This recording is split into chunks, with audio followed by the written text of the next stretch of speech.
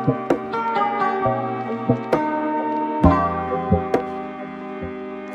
guys, here we go again. So I will tell you something about the big bad wolf. So, This is flag number five. This topic I would like to share with you things you should know before going to big bad. So guys, ito na yon kasi kahit ako yung time na nandun ako sa big bad wolf, sobrang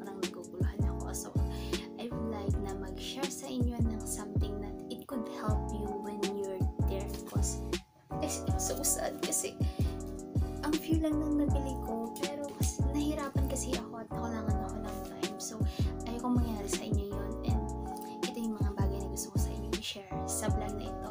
Itong content na to yes andito na lahat. Push tayo.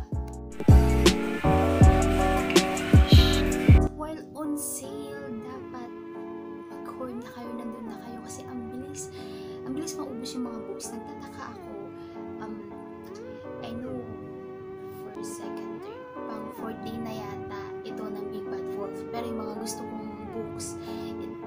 almost, it almost disappearing, nawawala na siya. Kasi nga, yung mga tao, kung may layo ka, so anong gagawin? Anong sasakyan mo? Mag-grab ka na lang para mabilis. Ang location po nito is in Pasay sa World Trade mo. Siya makikita. Push tayo ng pati dito.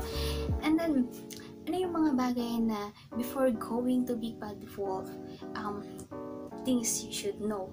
Ah, ito, sinulat ko na para sa inyo. World Trade. Ito.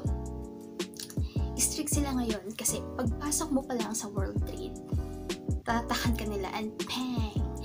Kailangan dapat yung temperature mo hindi aabot ng 37. So, check.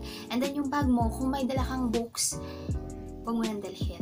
Kasi magiging abala pa siya i-check nila lahat yun kung pwede nga lang iwan mo yung bag mo doon kasi he- they don't allowed na magpasok ka ng ibang doon kaya kailangan tatakan hanggang maari huwag ka nang magdala bago ka pumasok doon sa Big Wolf World Trade and then you should know the genre of the books na dapat mong bibilihin and as early as possible dapat mas maaga ka na nandoon kasi nga um, yung mga ibang tao talaga nag-hoard sila kasi sale, sale sila sobra. Hey guys, so ito babanggitin kita, tutuloy ko yung sinabi ko. Biographies, ah, baking, cookery, artists, children, non-fiction for young adult and for children also, architecture, business economics, movies, and music, then reference. Yun yung mga meron sa Big Bad, Big Bad Wolf. Or you can search their website para hanggang ngayon makapag um, makapagplano na kayo kung anong bibiliin nyo, kung ano yung gusto nyo talaga na basahin. Kung ano yung sa tingin nyo makaka-relate sa inyo at makakatulong sa inyo. Yun yung maganda na i-hoard nyo. Kasi naman, bili kayo ng bili pero hindi nyo yung magagamit. So, read and read. Then, ito yung mga section na makikita nyo. Ma- guys, makakapagtanong kayo doon kasi kung may hinahanap kayo na book, huwag nyo tatanungin yung author kasi hindi nila kayo sasagutin. Ibigay nyo kung ano yung title ng ng book na gusto nyo and then sasabihin niya sa inyo kung doon kayo sa young adult or sa fiction or non-fiction. Tutulungan naman kayo. Marami nag-a-assist sa kanila and guys, you want to do that. And then, then, guys, meron ding place doon kung saan na after nyong makabili, pwede kayong mag-donate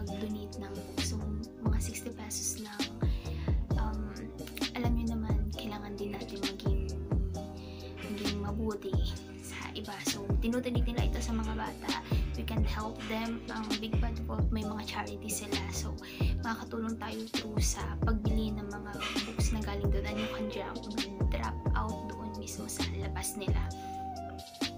And bago matapos itong vlog ko na to, later may kita nyo yung mga yung mga videos na binidyo ko. Oh my god!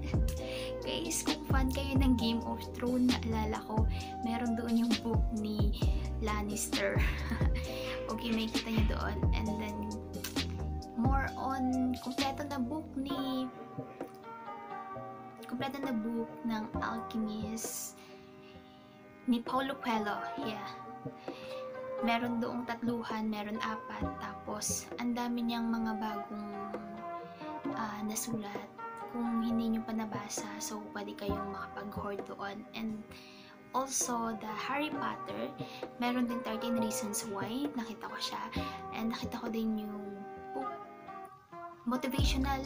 Ang sa religion, mostly sabi nila, very bestseller talaga si Joel Austin. Pero ang aking nabili is Escape of Shadow. Si Randy Robinson. Gusto ko kasi yung sa likod niya. Binasa ko siya. And also for motivational naman, Happier. Sabi kasi dito is bestseller. So, tinanay ko siya na bilhin. And bumili din ako ng gusto ko kasi ng me- medyo vintage. So, I bought also a Bible. So, here. This. After this, pwede ko siyang i um, i-review then I will tell to you guys what's inside of my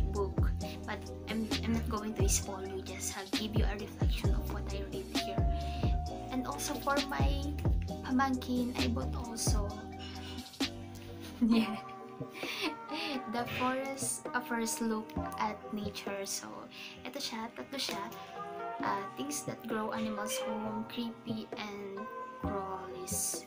Matututo talaga yung mga pamangkin also marami silang mga puzzle doon sa mga bata. Kung mahilig kayo mag word search yung mga brain pang brain activity napakadami. Poetry the reference for if you are a businessman about economics uh, um, John Maxwell I, I hope makakakita kayo ng mas marami doon. Guys Big Bad Wolf